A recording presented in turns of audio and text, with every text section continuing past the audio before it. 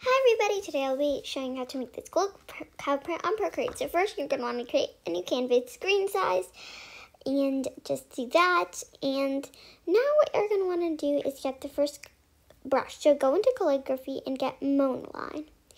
And yeah, just click on that and go into the colors and pick the color you're going to use for your first little um, cow print. Well, your only color, so yeah unless you want to do a multicolor one, it's fine. But now, what you're going to do is you're going to want to do a squiggly shape on the edge.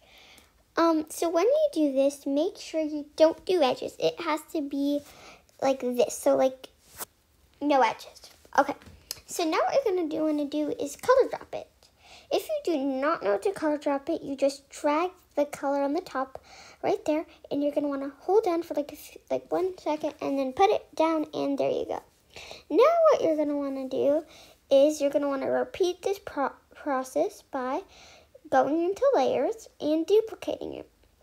So duplicate layer one, whatever your layer is called, like so. Just swipe like that. Now, you're going to want to go into the little arrow icon on the very top. When you click on this arrow icon, you're going to want to take it, and if you see the little green line dot there, you're going to want to rotate it.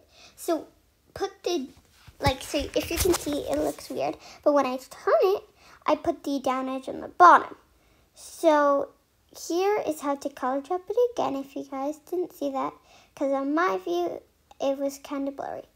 But anyway, then when you're done, it should look like this. And here's the process again, if it was blurry for you, because it was blurry for me. So duplicate it, and yeah. Also, um, you can add glimmer on these if you know how to do that, and you can do different colors. So when you're duplicating it, you can, you can like change the color, but it's kind of confusing. So after you've rotated it, like um, I'm about to show again, it should look something like this. Then you should have two.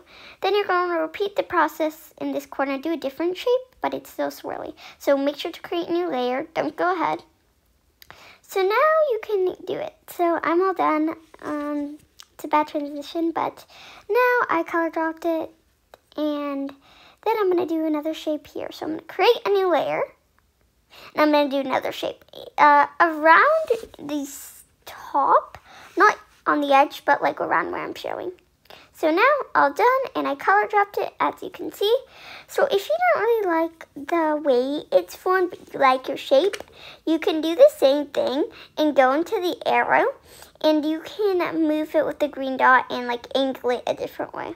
I decided I didn't like my shape so I decided to redo it and not really move it. I only moved it a tiny bit to see if I wanted to relocate it. You can relocate it if you don't like where it is.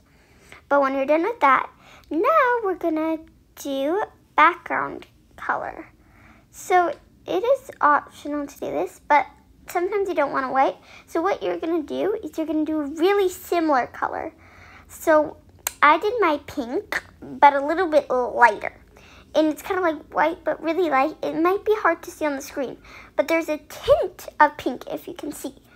Or you can just leave it white or do a different color background. I like it like this. But anyway, I hope you guys enjoyed the tutorial. Bye!